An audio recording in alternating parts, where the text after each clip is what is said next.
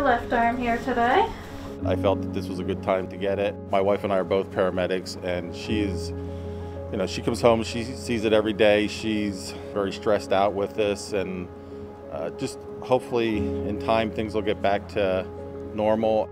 I'm very fortunate that I was able to get the vaccine because I really, I mean, I want to protect my family and all everybody, and being in my line of work is very, very important. It's important that we all get it. I am concerned about whether I spread anything. I feel a lot better, and I'll feel a lot better when I get the second one, when that becomes available, as to how I can talk to people and things like that. Very easy. Shot didn't even hurt at all. Didn't even know I would, she stuck it in. Not bad at all.